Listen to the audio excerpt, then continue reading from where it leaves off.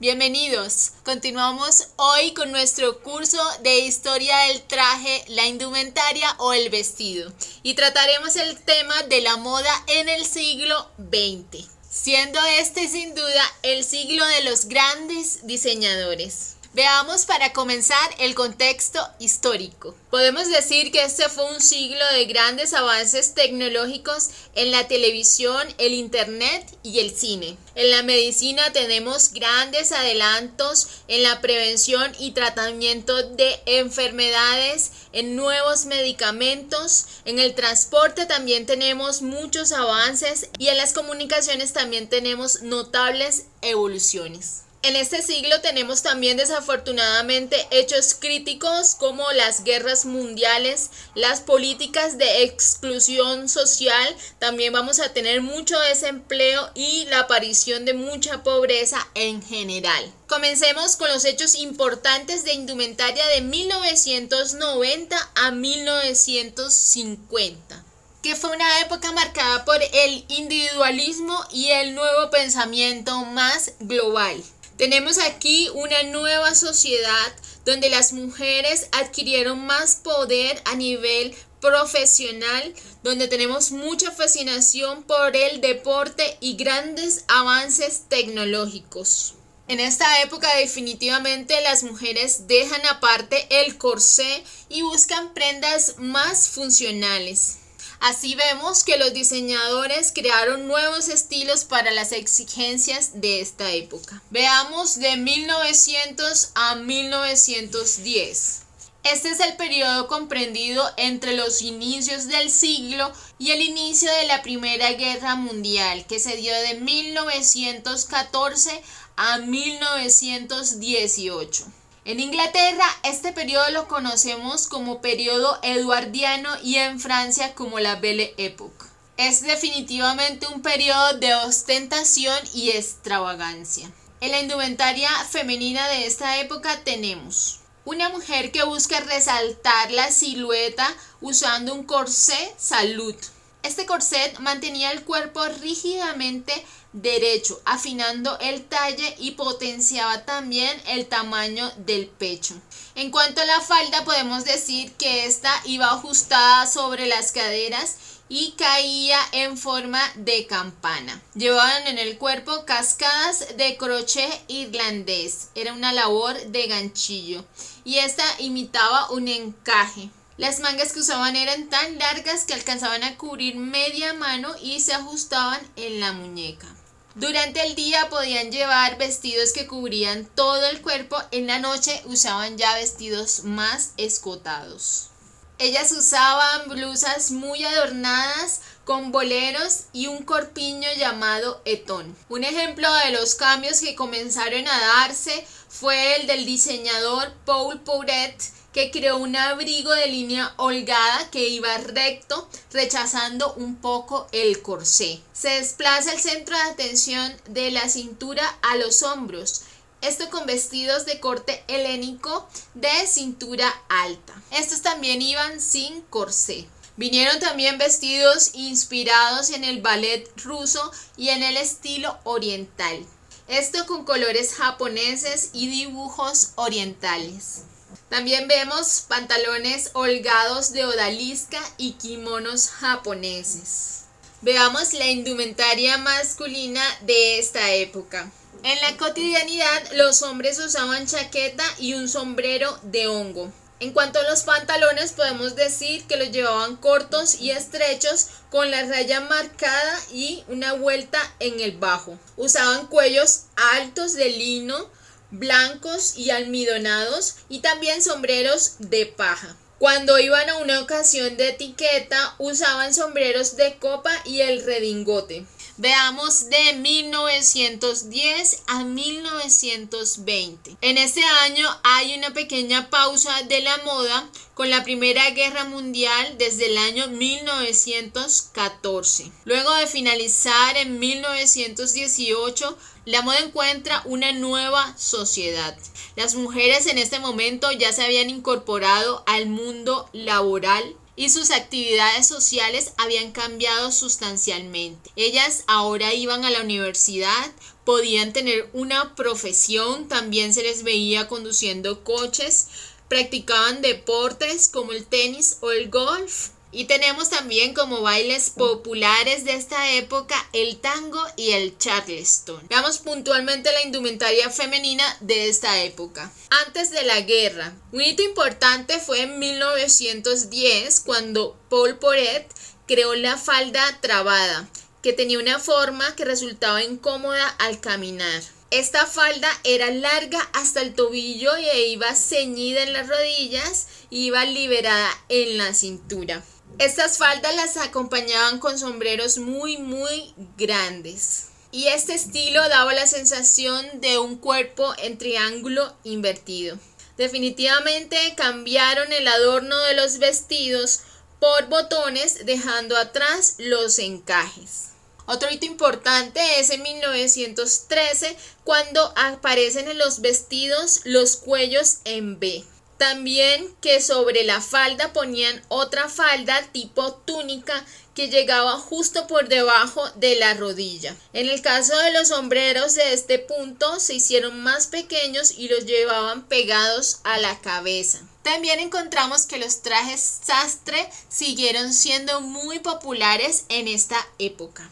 Durante la guerra tenemos un cambio fundamental en las labores de las mujeres ya que comenzaron a hacer muchos trabajos que anteriormente hacían solo los hombres.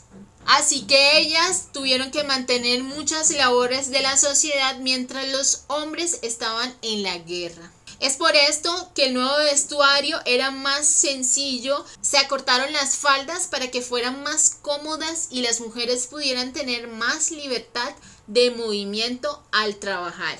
Definitivamente aquí se convierte el sastre en una prenda muy popular. Ahora, después de la guerra, esto en 1918, hay un cambio importante y es que el corte de la cintura se bajó a la altura de las caderas. Esto hizo que las mujeres comenzaran a verse un poco más como chicos. Tenemos aquí vestidos sueltos de cintura baja y largos hasta la rodilla. También tenemos el sombrero de campana ajustado que llamaban cloché. Este llevaba alas recortadas que apenas dejaban ver los ojos. Como vemos, aquí definitivamente abandonan los grandes sombreros y los adornos. También se modifica fundamentalmente el peinado a un peinado más sencillo y un peinado corto. Para el deporte se destaca el vestido pantalón de playa de Coco Chanel y los bañadores. También los trajes más cómodos y los conjuntos de chaqueta de punto. Vemos también el pantalón estilo marinero y los sencillos vestidos negros. Estos los adornaban con bisutería. Veamos puntualmente la indumentaria masculina de esta época. Los hombres también buscaron más comodidad y sobriedad durante la Primera Guerra Mundial. La chaqueta de ellos iba más holgada y los pantalones más estrechos. Vemos que después de la guerra el redingote definitivamente cayó en desuso. Y el chaqué lo veíamos solo en ocasiones especiales como bodas, funerales o ante la realeza. El long suite, que era el traje de calle, se convirtió en la ropa más habitual de la ciudad. Pasamos ahora de 1920 a 1930. Aquí vemos gran influencia de los movimientos artísticos del surrealismo y el futurismo. Esto con accesorios radicales y extravagantes. Luego tenemos la depresión económica de 1929 o llamado también el crack del 29 y esto acabó prósperos años de alta costura. En este momento incluso vemos confección casera ya que muchas personas se arruinaron en este momento. Luego se dio una lenta recuperación de la economía. Veamos puntualmente la indumentaria femenina de esta época. Vemos una moda andrógina en las mujeres. También vemos que surgen nuevas figuras de la moda, una de las más destacadas, Coco Chanel. Una de las cosas que dio tanta popularidad a Chanel fue la sencillez y la elegancia de sus trajes. Aquí tenemos ahora un hito importante. En 1925 presenciamos la aparición de la falda corta y esta se mantuvo hasta 1929. A finales de la década de los 20 vemos que las faldas comenzaron a alargarse de nuevo y el talle vuelve a la cintura. Suprimieron el sombrero de cloché y las mujeres volvieron a llevar el cabello largo. En cuanto a la indumentaria masculina de esta época, vemos que en 1923 el traje de chaqueta se acortó. También ellos eliminaron la abertura en la parte de atrás. Entró un poco en desuso el chaleco y se puso más de moda las chaquetas cruzadas. Una característica importante fueron los pantalones más anchos. Veamos ahora los años 1930 a 1940. Aquí vemos un cambio de los vestidos rectos de la década anterior y vemos que comienzan a realzar el busto. Continúa la tendencia del cabello largo y usaban mucho los vestidos largos para la noche. Vemos que las casas de alta costura comenzaron a diseñar jerseys y pantalones deportivos con la idea del futuro Pretar Porter. Una destacada fue Elsa Schiaparelli en la moda urbana y también en los vestidos de noche de hombros cuadrados y cinturas marcadas. También vemos como destacados a Chanel y Vionet, estos con reconocimiento internacional. Tenemos a Cristóbal Valenciaga en 1937 que se dio a conocer por modernos diseños. Los 30 los vemos influenciados por la moda americana y también adquirieron mucha popularidad los diseñadores americanos. Con ellos vemos una moda desenfadada inspirada en la vida californiana, neoyorquina y en los campus universitarios. También vemos con ellos prendas deportivas de algodón o punto de lana. En Hollywood en el momento se veían hombros anchos y caderas estrechas. Veamos puntualmente la indumentaria femenina de esta época. En cuanto a los vestidos de día, podemos decir que los hicieron más cortos y en la noche podemos ver que los vestidos llegaban a la punta de los pies. En los 30 vemos un cambio de foco de atención que pasó de las piernas a la espalda, esto con escotes. Llevaban las faldas ajustadas en la cintura y en las caderas, acentuando mucho la zona de las nalgas. Vemos mucho mangas largas y también vemos que llevaban el cabello corto y se puso de moda un pequeño bucle a la altura del cuello. También acompañaban estos peinados con un sombrero ladeado sobre el ojo. Vemos muy de moda los boleros y las capas en este punto. Para el tenis crearon falda pantalón que llegaba ligeramente por debajo de la rodilla y esta la llevaban sin medias. Vemos que los trajes de baños tuvieron cambios importantes. Casi desaparecen las faldas de los bañadores, la línea de la axila la agrandaron y el escote se hizo mucho más pronunciado. Vemos aquí el primer traje de baño sin espalda. En 1939, con la Segunda Guerra Mundial, podemos ver que aparecen restricciones de tejido y se fomenta un estilo sobrio militar. Esto con faldas rectas, lisas y sin pliegues. También usaban chaquetas con hombros rectos y hombreras, cinturones pronunciados, bolsillos funcionales, Usaban también sombreros muy sencillos y los zapatos los llevaban con plataforma y suela de corcho. En cuanto a la indumentaria masculina de esta época, ellos comenzaron a usar pantalones knickerbockers. Estos eran anchos y llegaban hasta la rodilla. También usaban mucho estos pantalones para jugar golf. Conozcamos ahora de 1940 a 1950. Tenemos que en Estados Unidos las faldas se hicieron más anchas a partir de unas cinturas que se hacían diminutas y las llevaban con medias de nylon, también tenían sombreros, usaban zapatos de tacón y usaban también cuellos brillantes y guantes. Esto debido a que la situación política y económica de Estados Unidos en este momento era un poco mejor. En Europa fue diferente. La moda se restringió muchísimo por la Segunda Guerra Mundial y aquí sí vemos una línea militar. Luego de la guerra sí vemos una moda francesa que se recupera y la moda americana se afianza. En cuanto a la indumentaria femenina de esta época tenemos traje de chaquetas de dos piezas, esto con materiales sencillos, también usaban pantalones holgados que se buscaba que fueran muy prácticos. Se pusieron de moda zapatos pesados y las medias no eran muy usuales en esta época, por lo que en algunas ocasiones las reemplazaron por calcetines. Entre las características de los sombreros encontramos que eran diminutos y austeros, esto con un aire militar. Podían ir adornados con flores y velos. Aquí vemos que aparecen los bolsillos falsos en las chaquetas.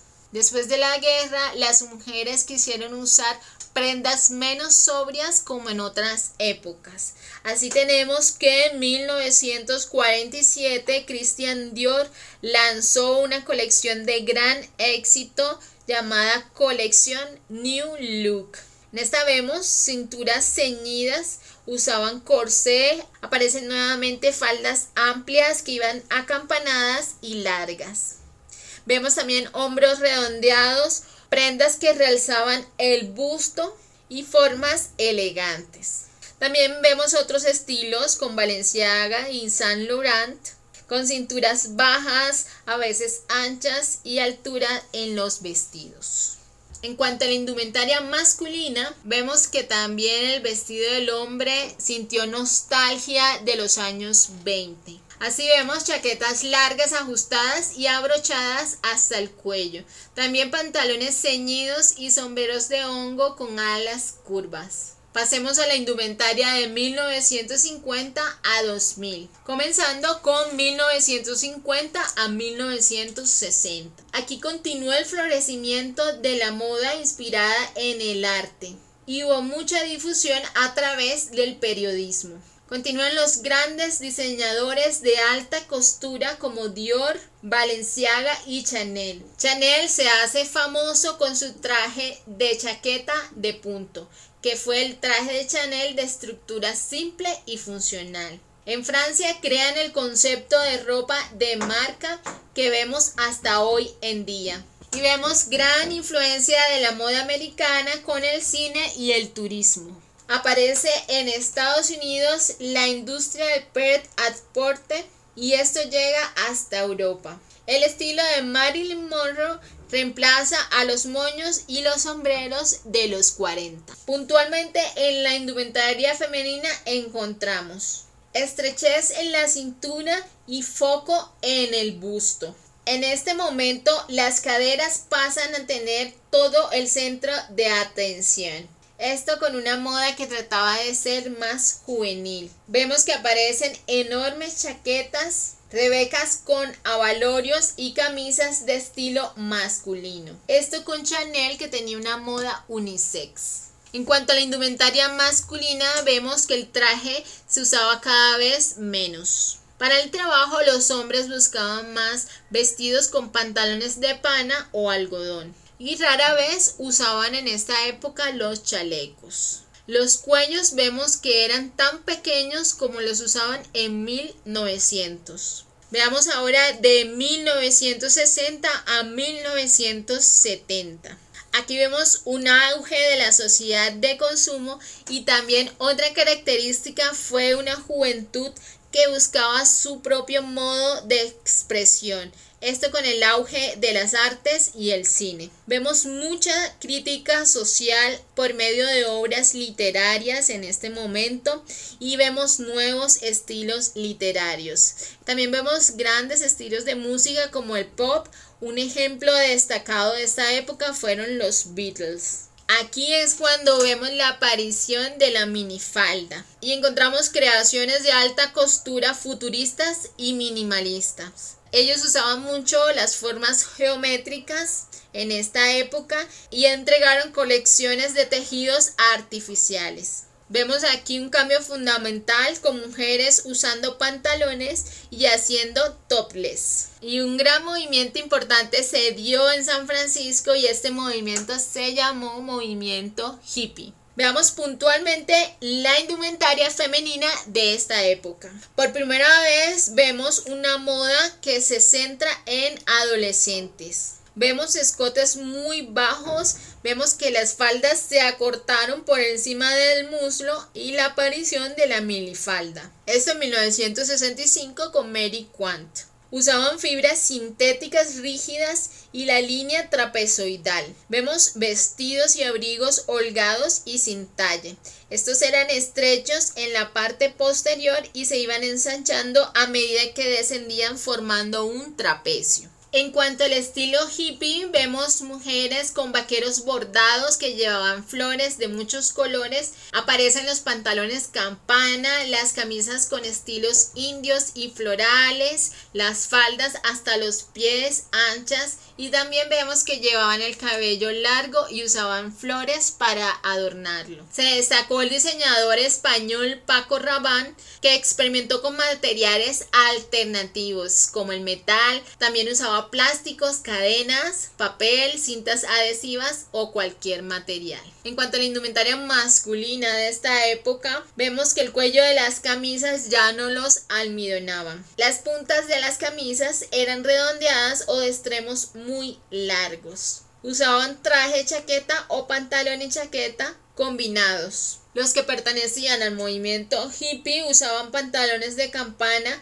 camisas con estampados y también llevaban el cabello largo. En cuanto a la moda de 1970 a 1980, aquí tenemos como característica que la moda deja atrás el estilo futurista y vuelve a la normalidad en los diseños. Vemos que continúa la moda americana, los pantalones vaqueros y las camisetas. El movimiento hippie sigue teniendo vigencia, pero adicionalmente vemos otros nuevos estilos como el punk, los surfistas, los deportistas y algunos estilos de moda nostálgica que se inspiraban en el pasado. Aquí se pone de moda nuevamente la confección casera haciendo faldas de tweed y prendas de patchwork. En cuanto a la indumentaria femenina de esta época tenemos pantalones ajustados y prendas de punto que pegaban al cuerpo de manera exagerada. Se vuelve a poner de moda resaltar las nalgas y las faldas se fueron alargando cubriendo parte de la pierna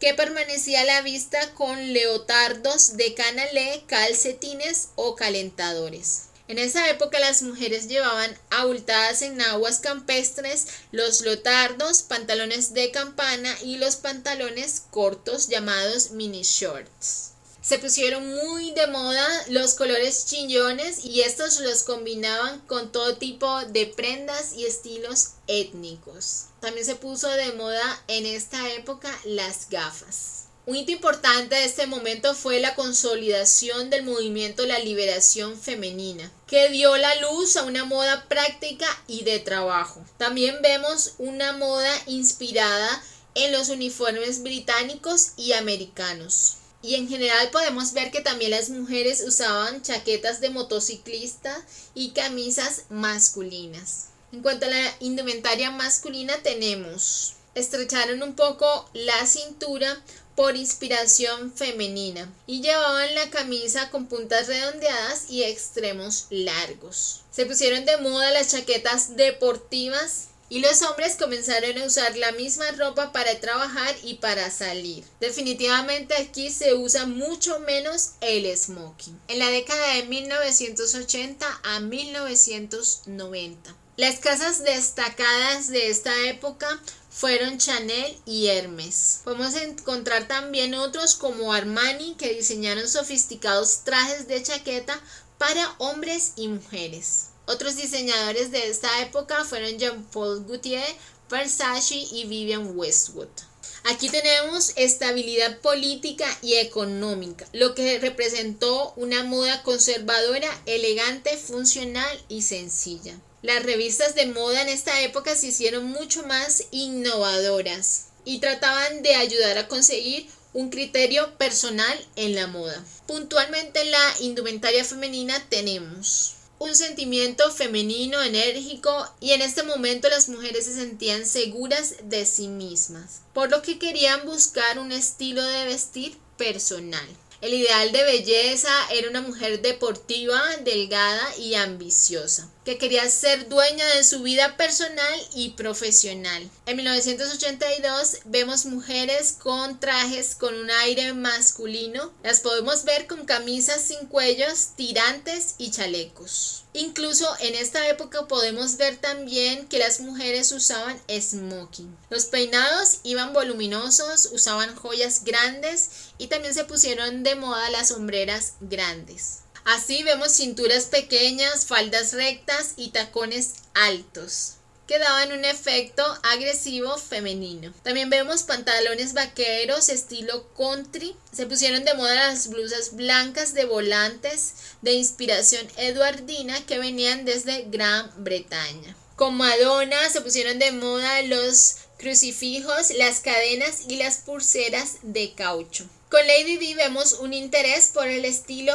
romántico. Otra inspiración fue la serie de televisión Dinastía que popularizó grandes sombreros y hombreras y también vemos la influencia de Chanel en una tendencia de mujer ejecutiva conservadora y con estilo. En cuanto a la indumentaria masculina de esta época tenemos el traje de hombre llevaba hombreras y jerseys extremadamente holgados. Michael Jackson causa furor con las chaquetas de cuero rojo y los pantalones de paracaídas. Pasemos a 1990 a 2000. Tenemos un hito importante y es el progreso de las telecomunicaciones con el Internet. En la moda juvenil vemos que volvieron los 60 y los 70. Esto con el estilo grunge, el hip hop y el estilo retro. Por otro lado también encontramos un estilo más sencillo con diseñadores como Giorgio Armani, Calvin Klein y Jill Sander. Aquí es cuando encontramos que se ponen de moda la utilización de las marcas,